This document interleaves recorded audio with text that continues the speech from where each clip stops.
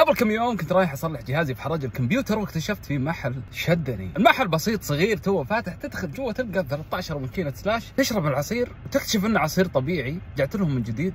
واستهدفت عصير المانجا. في هذا الحر تأخذ لك slush عصير مانجا وتشربه ويسرسح. تحس إنك تاكل حبة مانجا، الكوب الجميل اللي تشرب وتاكل فيه الفاكهة بنفس الوقت ب 10 ريال بس، هذا المحل عظيم.